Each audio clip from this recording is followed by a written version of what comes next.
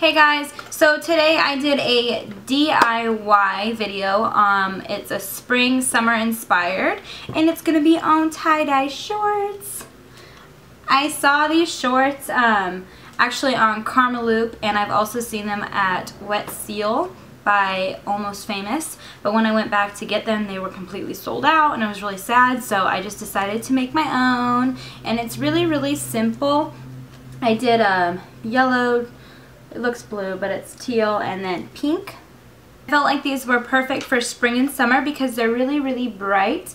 And I would probably wear these with just a plain white tank top or maybe even a cropped white tank top and some sandals. This is actually a collaboration video with Nicole Elise here on YouTube. She's an amazing YouTuber. You guys should go check out her channel. I will link all of her information down below. If you guys want to see how I did these myself, then just keep watching. Hey guys, we're in my bathroom, and so is Bandit. So I got all of my items for this project at Hobby Lobby. I got some gloves, those were 99 cents. I have my tubes, they all have a little nozzle or like squirter spout thing on the end of them. Those are 99 cents each.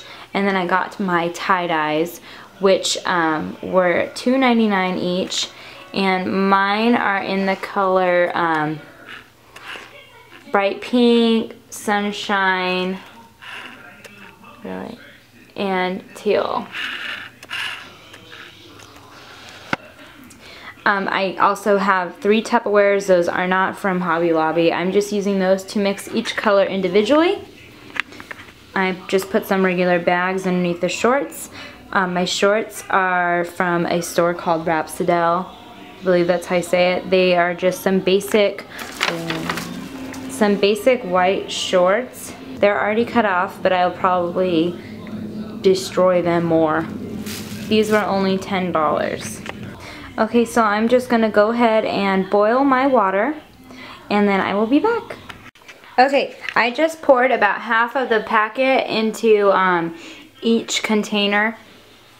I'm just going to start with half and then add more as I feel. And then I have my water which is steaming hot. I boiled that and I'm just going to add it and kind of eyeball these.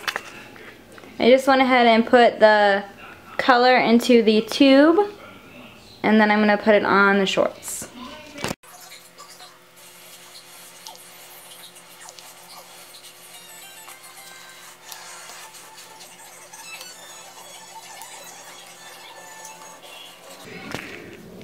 I went about that much up with the pink and then I'm gonna move on to blue.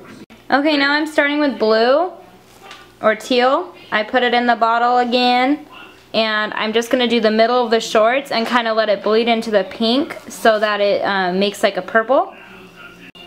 I'm just adding the blue all throughout the middle of the shorts and then letting it bleed right here to make a purple color.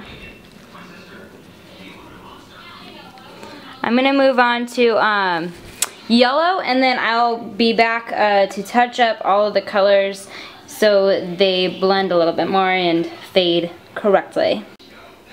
Really? Really? Do you have to be so close? Really?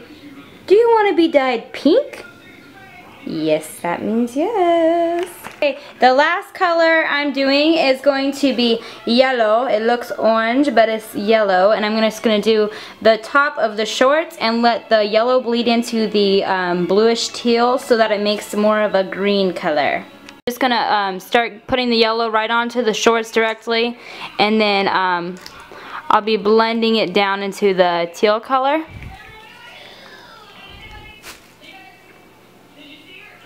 Just flip your shorts over and do the same exact thing. I'm just putting the yellow, the blue, and the pink just how I did on the front. Okay, now all I would do is go back and touch up all of the spots um, that are missing color and just blend the colors together and use up the rest of my colors. And then I'm just going to let these sit probably for about 40 minutes and then I'm going to throw them in the wash. Letting them sit for 40 minutes. I'm going to put them in my tub and then I'm going to run hot water and let them soak a little bit uh, just to help fade the colors.